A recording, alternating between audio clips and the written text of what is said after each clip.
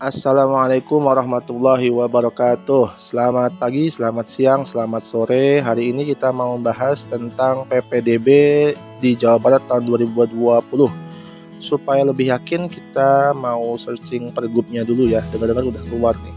Kita mau cek and recheck lagi. Oke ini pergubnya nomor 31 tahun 2020 ya. Kita nyarinya langsung di bagian cdih.jabarprof.go.id karena isinya itu tentang uh, pergub semuanya ya. Oke. Nah, ini dia sudah muncul dan alhamdulillah sudah ada nih ya.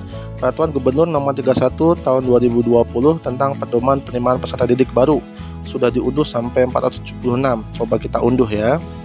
Semoga bisa. Alhamdulillah udah bisa nih tampilannya, judulnya sesuai dengan isinya juga kemudian kalau mau langsung oke ini bisa di scan pakai QR code ya.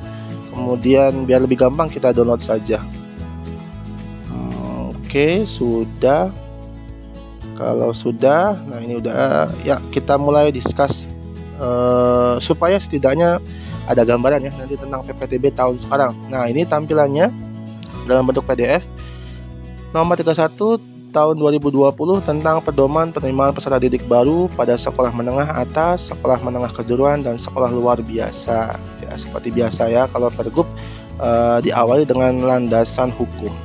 Kita langsung ke bagian yang memutuskan ya. Nah, ini menetapkan peraturan gubernur tentang pedoman penerimaan peserta didik baru pada sekolah menengah atas, sekolah menengah kejuruan, dan sekolah luar biasa. Ketentuan umumnya isinya uh, kurang lebih uh, hampir seperti biasa umum ya. Siapa yang bertanggung jawab istilah yang ada dalamnya apa saja. Dan ini menurut saya yang perlu dipahami ya. Zona adalah kawasan area yang meliputi beberapa wilayah administratif pemerintah tingkat kecamatan. Dengan dalam jarak terdekat dengan satuan pendidikan. Nah, ini yang ditetapkan oleh pemerintah daerah provinsi berdasarkan usulan dari MKKS, kemudian MKPS dan juga disetujui oleh cabang dinas pendidikan. Kemudian afirmasi ini adalah istilah untuk pemberian layanan akses pendidikan bagi orang yang tidak mampu atau ekonomi kurang bagus ya. Ya, ini PPDB dilaksanakan oleh pemerintah daerah provinsi. Nah, yang eh, apa menaungi SMA dan SMK, SLB dan juga sekolah terintegrasi. Mekanismenya oke Oke, iya ternyata uh, sosialisasinya sudah dimulai pada bulan Mei setiap tahun, berarti sekarang sudah mulai ya. Oke, ini tahapan-tahapannya pengumuman penerimaan calon peserta didik baru, pendaftaran, seleksi sesuai dengan pendaftaran, pengumuman penetapan peserta didik baru, daftar ulang dan masa pengenalan lingkungan sekolah. Kemudian petunjuk teknis uh, pelaksanaan penyelenggaraan PPDB lebih lanjut ditetapkan dengan keputusan gubernur yang mandat penandatangannya dilakukan oleh Kepala Dinas. Artinya setelah Pergub ini akan ada petunjuk teknis PPDB yang lebih detail lagi ya. Berarti ini hanya uh, sebagai gambaran umum. Kemudian nih pendaftarannya. Pendaftaran dilaksanakan oleh masing-masing orang tua calon uh, peserta didik atau wali dan dilaksanakan secara daring dan dikoordinasikan oleh dinas. Artinya uh, akan ada website ya yang kita gunakan untuk pendaftaran. Selanjutnya, nah ini persyaratan cara peserta didik uh, berasal dari SMP atau bentuk lain uh, yang sederajat tahun belajar tahun berjalan dan tahun lulusan tahun sebelumnya tahun kemarin juga bisa dari paket B juga bisa dan syarat ketentuan usianya kalau nggak salah 21 tahun. Nah ini dia nih jalur penerimaan peserta didik baru tahun 2020 yang pertama ada jalur zonasi kemudian afirmasi. Yang ketiganya jalur perpindahan tugas orang tua atau wali dan anak guru. Dan yang terakhir adalah jalur prestasi berarti ada empat ya. Nah ini deskripsinya. Jalur donasi itu diperuntukkan bagi peserta didik yang berdomisili pada jarak terdekat pada zona sekolah yang ditetapkan oleh pemerintah daerah provinsi. Kemudian yang kedua jalur afirmasi itu yang berasal dari ekonomi yang tidak mampu perpindahan tugas itu bagi yang mengikuti perpindahan atau tempat orang tua, wali, dan bagi anak guru. Kalau ada prestasi, nilai raport atau ujian sekolah, terus juga berdasarkan hasil lomba atau penghargaan kejuaraan di bidang akademik maupun non akademik. Zona sekolah itu tercantum dalam lampiran, berarti ada ya di paling bawah ini nanti bisa di download di link yang saya kasih di deskripsi dari uh, channel ini.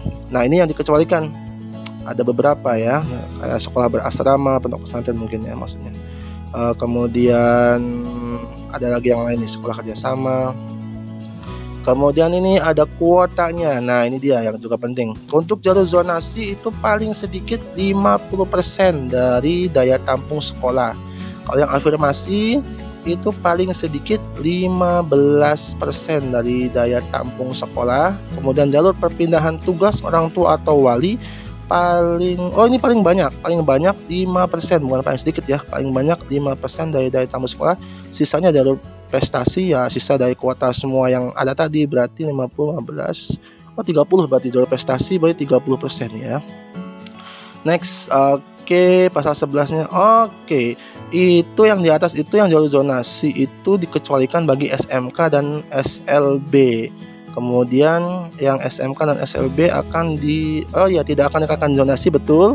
Kemudian ada petunjuk teknis nanti. Berarti kita tinggal nunggu petunjuk teknisnya ya. Oke, satu pendidikan wajib menerima calon peserta didik yang berkebutuhan khusus.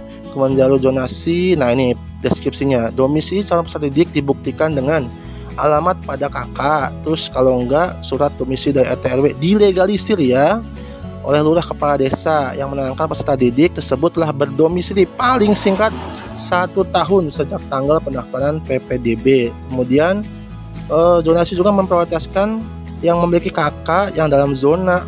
Nah ini berarti benar-benar eh, zonasi ya. Kemudian ini adalah bencana nasional dan daerah mengikuti eh, dari domisili sementara kemudian ini uh, yang ada di bagian perbatasan atau daerah irisan itu juga sudah ada penetapannya ya. Sekali lagi ada sudah penetapannya penetapannya. Next jalur afirmasi. Nah ini peserta didik yang berasal dari keluarga ekonomi tidak mampu. Buktinya bagaimana? Dengan dibuktikan keikutsertaan peserta didik dalam program penanganan keluarga tidak mampu yang berasal dari ingat nih pemerintah pusat sama pemerintah daerah. Berarti kayak KIP kayak gitu ya. Dan kawan-kawan PKH gitu. Kemudian, nah ini dia peserta didik berdomisili di dalam dan di luar wilayah zonasi sekolah yang bersangkutan. Wah, berarti bisa pilihan satu, pilihan dua. Nanti mungkin akan lebih lanjut di Juknis yang akan di segera dirilis ya. Bukti kesertaannya itu wajib dilengkapi dengan surat pernyataan.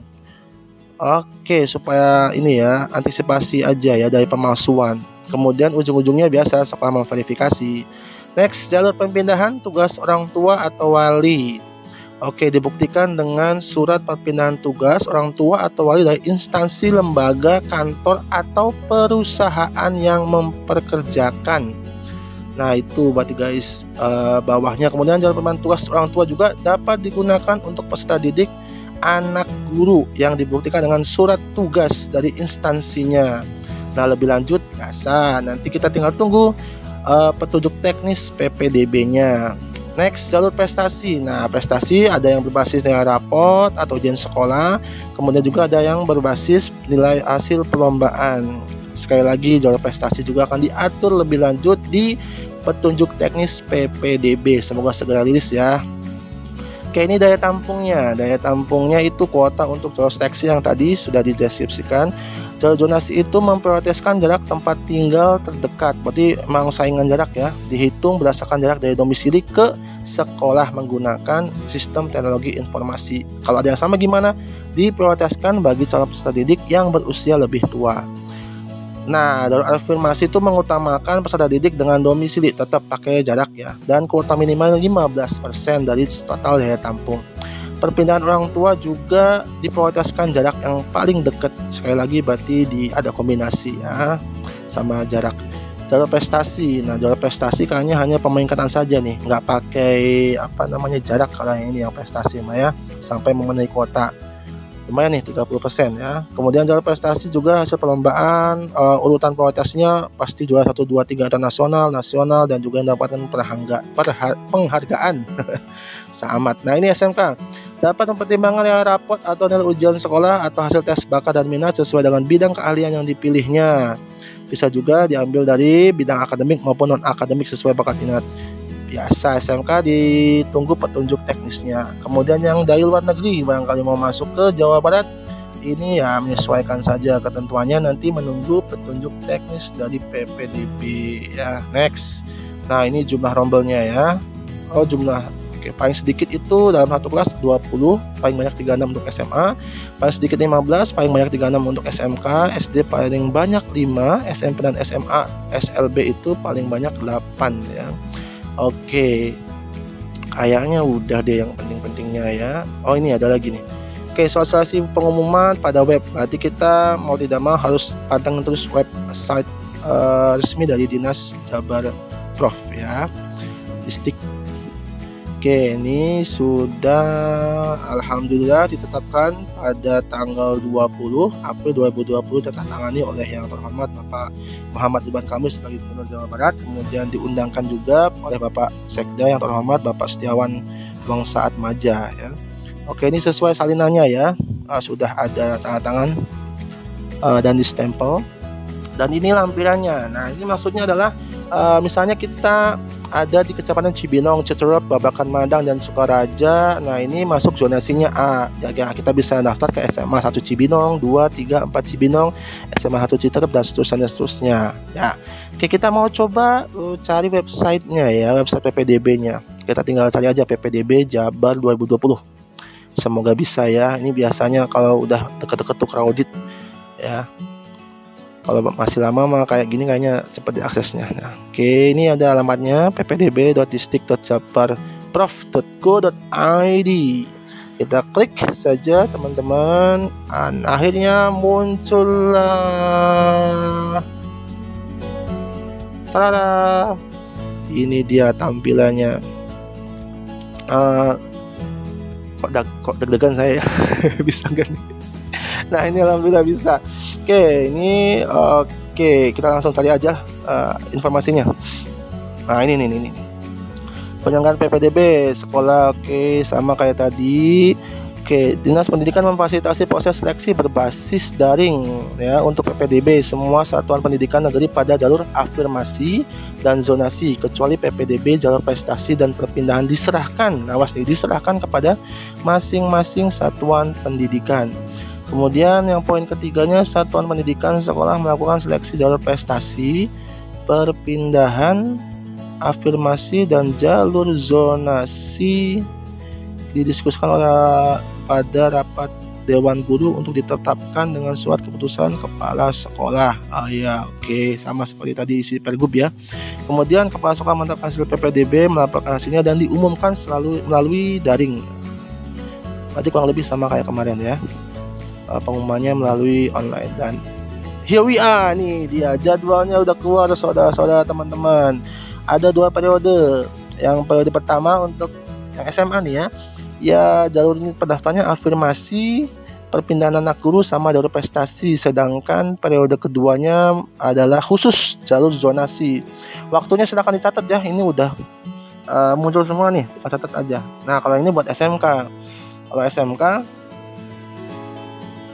SMK nih udah nih ada jalurnya ya afirmasi perpindahan uang dulu prestasi dan jalur prestasi kejuaraan nah bedanya kalau SMA zonasi kalau SMK jalur prestasi nilai akademik rapot umum berarti nggak ada zonasi begitu juga dengan SLB nya ya Oke, SLB itu berarti SD sama SMP, uh, eh, SMP dan juga uh, sekolah yang lainnya. Terima kasih. Assalamualaikum warahmatullahi wabarakatuh. Semoga bermanfaat.